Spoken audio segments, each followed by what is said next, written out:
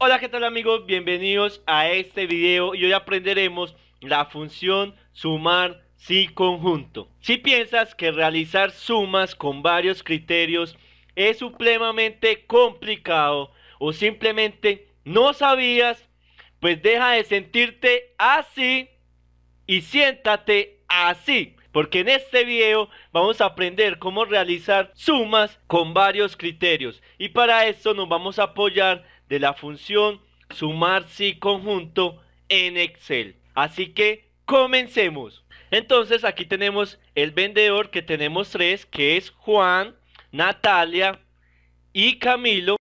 Y tenemos los meses de enero, febrero y marzo, las ventas de los artículos y sus respectivas ventas en dólares. Entonces, el primer ejercicio que nos plantean es el siguiente. Realizar la suma de las ventas de Juan en el mes de enero. Aquí tenemos dos criterios.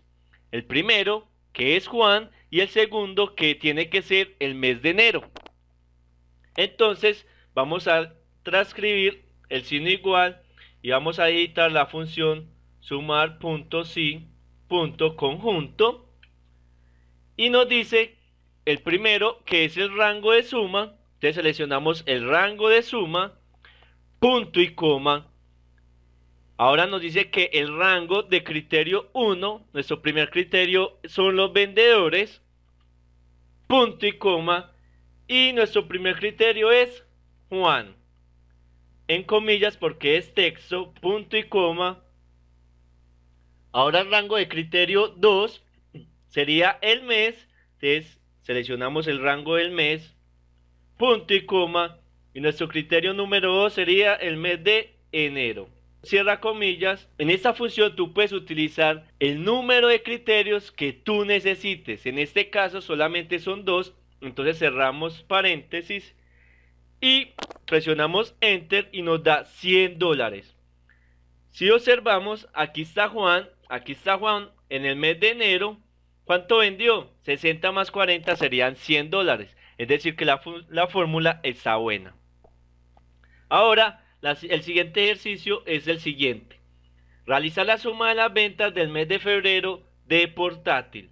Entonces, de nuevo, sumar punto, si conjunto, rango de suma, sería el rango de ventas, punto y coma, su primer rango, que es, ya no es vendedor, sino el mes, que es el mes de febrero, seleccionamos el rango del mes, abre comillas, febrero, cierra comillas, punto y coma, y nuestro rango de criterio 2 sería el artículo, punto y coma, y sería portátil.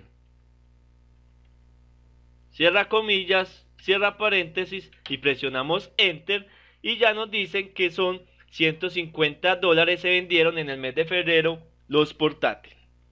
Ahora realizar la suma de ventas de Natalia en el mes de marzo con respecto al televisor.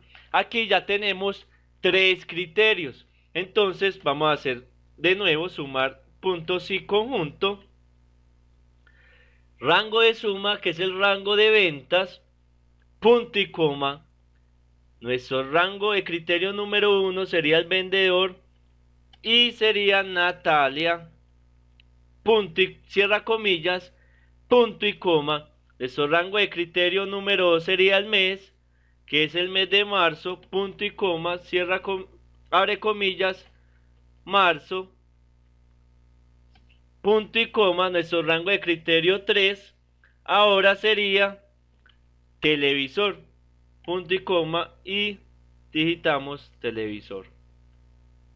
Cierra comillas, cierra paréntesis y presionamos Enter que equivalen a 90 dólares. Natalia vendió en el mes de marzo televisor. Ahora vamos a hacer el siguiente ejercicio. Sumar las ventas mayores o iguales a 50 y menor a 80. Aquí de nuevo hay dos criterios donde vamos a realizar las sumas que cumplan estos dos criterios. De nuevo vamos a utilizar la función sumar si conjunto.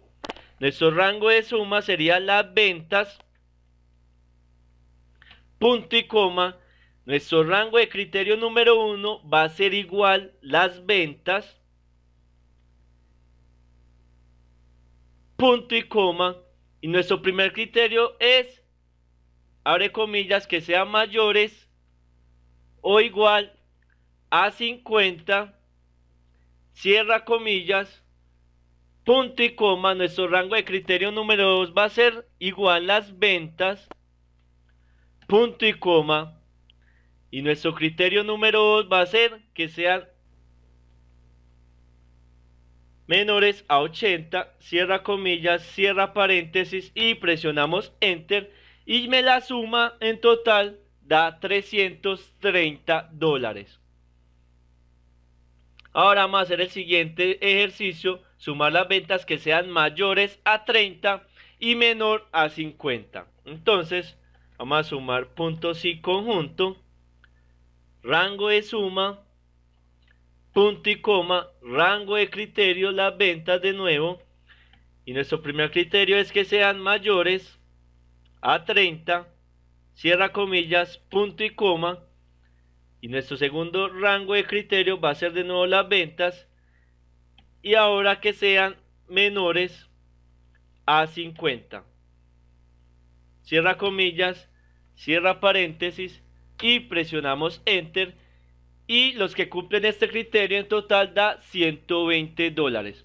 Bueno, espero que les haya gustado este video, que hayan aprendido una nueva función, que hayan aprendido cómo sumar con varios criterios y recuerden que la mejor manera de aprender es enseñar. No olviden suscribirte para que no te pierdas absolutamente ningún video y hasta una próxima.